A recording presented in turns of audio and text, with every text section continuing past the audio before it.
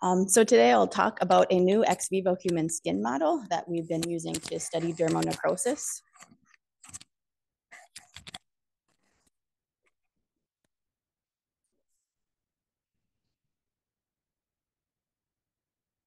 So just this one.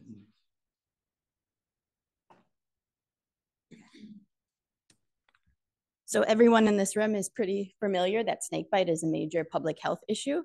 Um, but in addition to mortality, so we've seen a lot of information about systemic envenomation, there's also four times as much morbidity. Dermonecrosis is one of the leading causes of snakebite morbidity, um, and this results in amputations and um, tissue destruction that immediately takes effect and that is one of the problems is there's usually delay in treatment and so we're already dealing with the symptoms um, of dermonecrosis Unfortunately, antivenoms aren't very effective at this, um, at neutralizing these effects, um, because they have poor tissue distribution into the areas that are experiencing the tissue destruction. And so cytotoxicity is um, a critical concern with snakebite, and there's a critical need to better understand venom cyto cytotoxicity and evaluate novel treatments um, for dealing with dermonecrosis. Currently, we use a mouse model to study um, dermonecrosis, and this is the MND model, so the minimum necrotizing dose, and it's actually primarily used to evaluate treatments because the dose is determined, um, the venom dose is determined that results in five millimeter lesions um, and within 72 hours. And so we use this as a standard to then evaluate a treatment, uh, therapeutic application. But today I'm going to talk about another model that we've been working with um, at CSRI, and this is the ex vivo human skin model. And so this came from a company, Genoskin. And so this is actually received from donors that have undergone abdominoplasty. And it's a skin biopsy, um, and we were able to then do perform intradermal venom injections into the skin biopsy to study the effects of the venom. And one nice thing about this model is number one, it's it's quite ethical as no mice are involved, and it can even go even longer than our MND models from mice. So we've been able to take this up to seven days, and we see no effects of the skin. Um, no effects of it, you know, uh, undergoing any changes besides that of the venom. Up to seven days, we've evaluated it. And another nice aspect of this model is it's more relevant to snakebite, especially given that this is human skin uh, versus mouse skin. And there are many differences between mice and human skin. For one, mice skin um, is a lot thinner. Um, there's also more hair follicles. And then there's also differences in immune gene development, activation, and response for mice. And so really studying the inflammation processes in a human, um, it's best in this ex vivo human skin model. So what we did is we looked at several different venoms from Africa, um, venomous snakes from Africa um, that are responsible for necrosis. Um, so they we covered both vipers and elapids. So for vipers, we have uh, species, uh, and then we had um, nigricollis for our necrotic spitting cobra. And then we had a control that Anaja which is the Egyptian cobra, that's not known to result in dermonecrosis. So we also use this in the model as well. Um, because this was the first time we really uh, worked with this model, we initially started with the MND values that were determined for mice to get an idea of the lesions. And actually, interestingly enough, we did not see lesions at this dose, and we ended up having to increase it to three times the MND. Um, and even with that, the lesions were um, very faint and not very visible. Um, but most notably for the, the puff adder, we were able to see some brownish um, detections of lesions. Of course, too, because we evaluated this with the MND, it is difficult to say that the puff adder resulted in more dermonecrosis um, just because we did use a greater amount of venom because once again, we based it initially on those MND values for our evaluation. So although there wasn't very apparent lesions, they were quite faint. Um, when we performed histology, we actually did see um, with H&E staining uh, differences in, well, we actually began to see um, separation of the epidermis and dermis, um, especially with the viper venoms, with the Echis and Bitis on the top. And Then also of note is we did see um, presence of apoptotic or necrotic cells for our control Najahaji, which is not really known, which is we don't really see dermonecrosis um, in, in the clinic with, with this particular cobra. So it's quite interesting that we were still seeing apoptotic cells um, with this venom. Just to confirm this, we did um, immunofluorescent labeling um, to detect apoptosis. And so this was done with an anti-active caspase 3 and with tunnel. And so this confirmed the presence of um, apoptosis. And in fact, necrosis, you could say in some regions, since you have whole patches of cells. Um, so you see with the yellow arrows, whole patches of cells um, that are detecting of um, cell death. Once again, with, we saw the, the greatest extent of damage on apoptosis with Bitis irritans, the puff adder venom. But interestingly, as I mentioned with the previous slides, um, with H&E staining, we also saw uh, presence of apoptotic cells with Najahaje as well, deep down in the dermis. Um, and so this is uh, my main contribution to the project. Um, so I specialize in RNA sequencing. And so we're really interested in um, evaluating what changes are happening um, in the human skin and especially in comparison to the mouse models. Because um, I as I mentioned, it is quite interesting that uh, you have different genes between the mouse and the human skin. And RNA-seq is an unbiased approach to evaluate these pro-inflammatory markers as opposed to um, like Luminex cytokine panel where you're just gonna get res uh, results from a general inflammatory panel. In addition to inflammation, um, we were able to also see genes responsible for wound healing and coagulation, because um, we, especially in the case of the mouse models, uh, we performed RNA-seq with both the mouse lesions and the human lesions um, from the biopsies.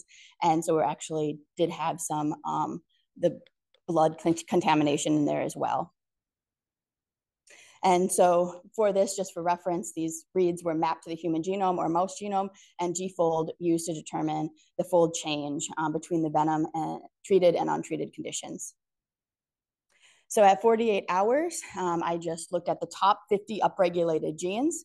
Um, well, I'll mention, well, I looked at it for both the 24 and 48 hour mark.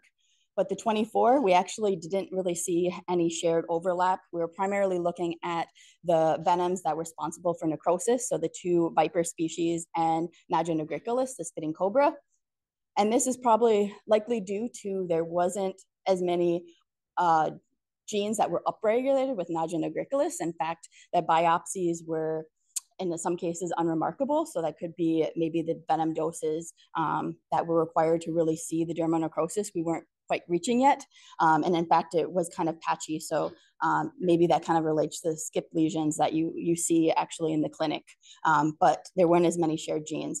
But by 48 hours, we did see um, a response for all of the skin biopsies. And we saw shared genes um, that were common. Um, in fact, even common to the Najahaje, the control that isn't responsible for necrosis, but it was still producing chemokines, uh, especially chemokine ligand 5, which is neutrophil recruiting um, that was seen for all four venoms. And then for the necrotic um, venoms, which is two vipers and the spitting cobra, um, we also saw seven or I'm sorry, we also saw three common genes. And so many of these are responsible for inflammation, um, also probably beginning the process of repair.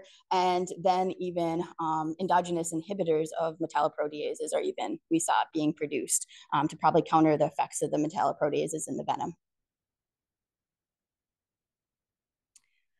So other noted um, biomarkers we saw is especially for the Echis venom. We saw, well, actually for all of the venoms, um, we saw many of these damage associated molecular pattern molecules.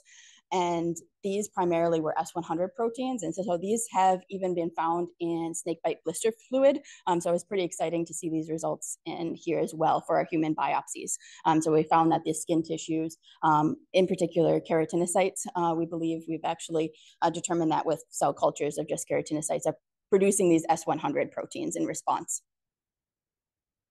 And in the case of the bidis, um, venom injected skin biopsies, we saw a greater number of keratin genes. So definitely more um, healing processes are in place with this venom.